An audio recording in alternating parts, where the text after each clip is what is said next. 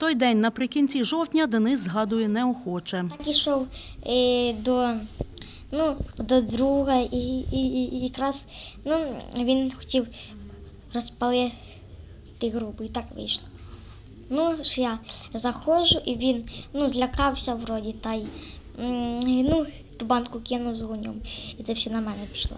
Денис пам'ятає, що його одяг спалахнув, мов факел, та він зметикував пірнути у балію з водою. Це, зрештою, і врятувало йому життя. Поступив у важкому стані з Кам'янець-Подільської ЦРЛ в жовтні місяці. У нього була велика площа опіків, більше 50%.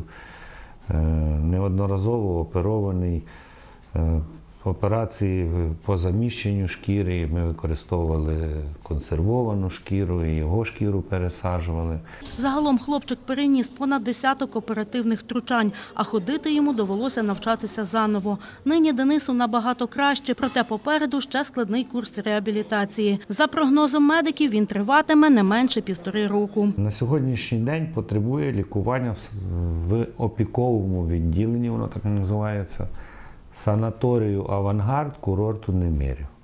Це в Немирові є єдине відділення таке на Україні, де займається реабілітацією важких хворих після опіків. Та от коштів на такий довготривалий курс у батьків хлопчика немає. У сім'ї, окрім Дениса, ще п'ятеро дітей. Так склались обставини, що батьки наразі не працюють. Відтак розраховувати на путівку від фонду соціального страхування не можуть. Тож просять допомоги усіх небайдужих. Тутешні волонтери вже почали збирати кошти. Всю допомогу, яку ви хочете допомогти, приносите все або в лікарню, або до завідділення. Він все контролює, він збирає гроші на реабілітацію, бо в контактах дуже багато обманутих.